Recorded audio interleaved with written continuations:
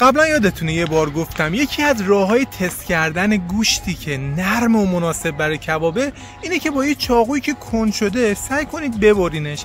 اگر بریده شد یعنی این گوشت مناسب ترین گوشت کبابه. نرمه نرمه. ولی کلا چاقوی تیز نه تنها اون فشاری که موقع کار بهتون میاد و از بین می‌بره بلکه شاید خیلیاتون فکر بکنید که چاقوی تیز خطرناکه. با توجه به تجربه ای که من دارم کار کردن با چاقوی تیز خطرش خیلی کمتر از کار کردن با چاقوی چاقویی که کنده. امروز که می‌خواستم با یه گوشت به شدت سفت ولی خوشمزه بیف استراگانوف درست کنم به این فکر افتادم که یک بار برای همیشه تیز کردن و تیز نگه داشتن چاقو رو بهتون آموزش بدم. جالب اسم این مغازه ها سقچیه ساکاتات بهش میگن. دیگه از کله پاچه و جیگر و دل و هر چی بخواین تو اینا پیدا میشه. اینم گوشت صورت گاوه. تنبلی تو تیز کردن چاقوهایی که هر دقیقه باید تیزشون بکنید تا چاق بمونن از طرفی داشتن یه خربار چاقو که هر کدوم کنچو بندازین کنار یه چاقوی دیگه برمیدارین استفاده می‌کنید. چندین چاقوی کن تو دستتون میمونه. بعدش هم نگهداریشون توی چنین کشوی نامرتب و به هم ریخته ای که همه تیغا و هم دیگه میماله. یه دونه چاقوی تیز توشون باقی نمیمونه. چاقویی که باش کار می‌کنید اگر مدام با مسخل تیزش نکنید یه جوری کن میشه که دیگه مسخل کاری براش نمی‌تونه انجام بده. باید با یه وسیله دیگه تیزش کنید. مثل همه این چاقوهایی که اینجا کند شدن قرار امروز به صورت اصولی تیز بشن. تو هر خونه ای باید یه دونه سنگ نفت یا همون سنگ چاقو تیز کن باشه. این همون چیزیه که شاید شنیده باشین به عنوان نفت شیل توی کانادا از سنگ میان نفت استخراج می‌کنن که خیلی هم پرهزینه هستش. این همونه. کسایی که هر روز می‌خوان چاقو رو به صورت براده برداری تیز بکنن مثل کفاشا کارشون سنگینه چاقوشون کند میشه. هی استفاده می‌کنن از این.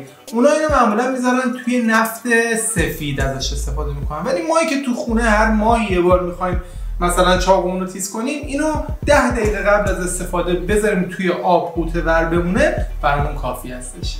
توی این سنگ پر از محفظه های خالیه. دلیل این حبابایی هم که ازش میاد بیرون به خاطر همینه. سریع به خودش جذب می‌کنه اون مایعی که توش خوابوندین. حالا اگر که این مایع چرب باشه مثل نفت سفید یا روغن بمالید روش اون چاقوتون برای سیقل دادن خیلی بهتر تیز میشه. حبابش که تمام شد یعنی آماده است. ما باید اول جاش رو روی میز سفت بکنیم. یه دونه پارچه که نمدارش کردین بذارین. دیگه تکون نمی‌خوره.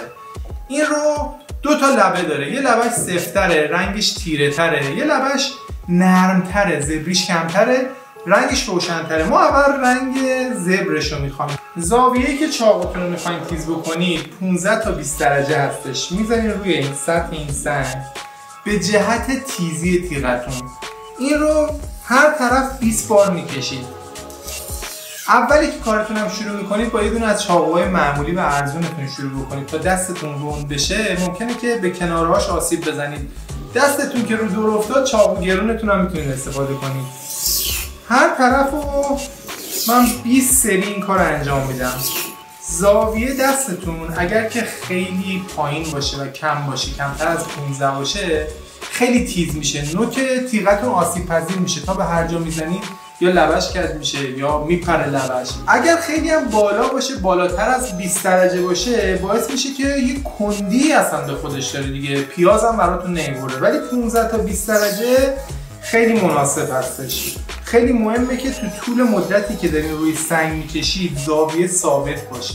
هی بالا پایین نکنه. شاید یکم طول بکشه که دستتون روند بشه. ولی این زمان رو به خودتون بدین که بتونید کارتون درست انجام بدین. ببینید این قسمت زبر چه براده های سنگینی از روش برمیداره چاقوهایی که لپر شدن شکل تیغشون کاملا به هم ریخته رو می‌تونید با این قسمت زبر سنگ کاملا احیا بکنید و تیغ انجام بدید. تو این قسمت شاید بتونید به جای استفاده کردن از سنگ نفت از این چاقو تیزکنایی که میندازین لبر داخلش و می‌کشین استفاده کنید. ولی اکثرشون بیکیفیتن. بهترین مدلشون شاید بتونه فقط با این سمت زبر سنگ نفت رقابت کنه. بعدش نوبت پولیس زدن میشه که سنگ نفت رو برمیگردونیم. این سمتش نرمتره. شروع می‌کنیم با همون زاویه همون تعداد هر طرف تیغ 20 و با همون تکنیک شروع می‌کنیم به پلیس زدن. می‌بینید که مثل پنیر کاغذ رو می‌بره.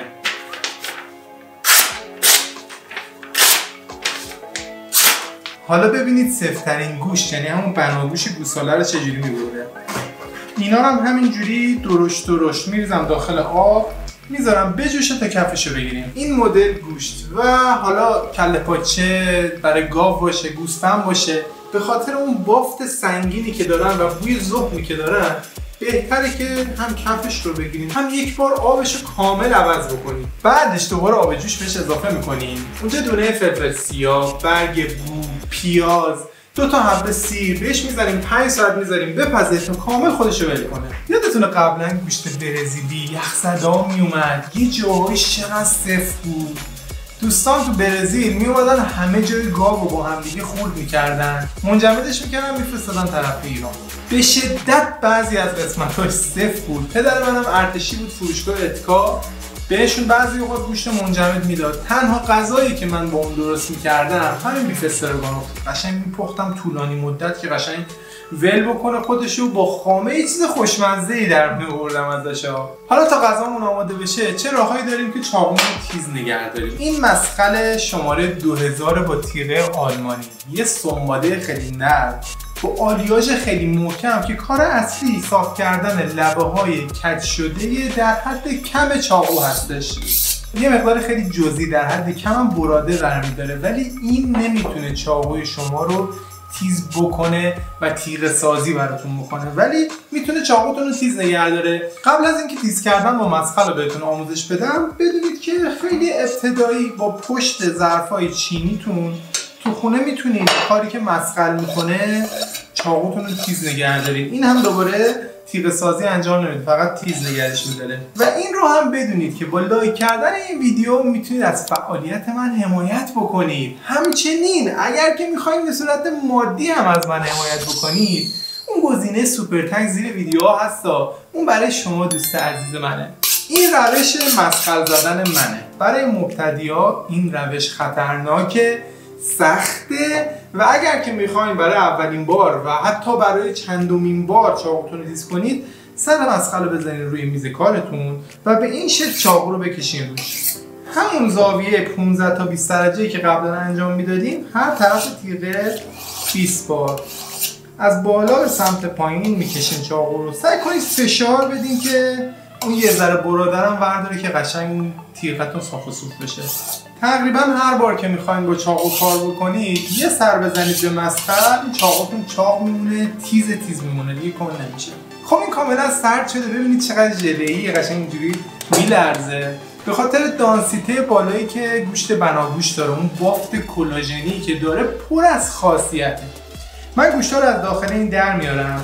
با یه چنگال میگیرمش و با چاقو شروع می‌کنم به بریدنش به صورت انگشتی. من خودم بار دومه که دارم با این گوشت فستاراگانوف درست می‌کنم ولی انقدر خوشمزه و خوشبافت و خوشبو. اولش یکم بوی زهر میده ولی که این پروسه پختی که بهتون گفتم کامل از بین میره. اصلا حیف اومد که این گوشت رو به شما معرفی نکنم. خب کارمون برای این غذا با چاقو تموم شد. اینا رو ما تیزشون کردیم ولی باید تیز نگه داریم. اولین نکته اینه که موقع خریدن چاقوهای غلافدار بگیرید.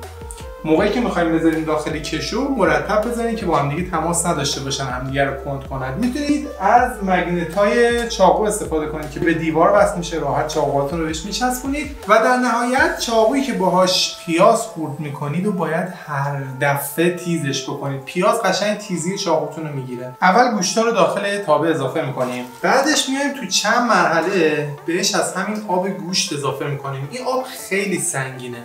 وقتی که بخار میشه یه لعابی داخل این غذا ایجاد می‌کنه.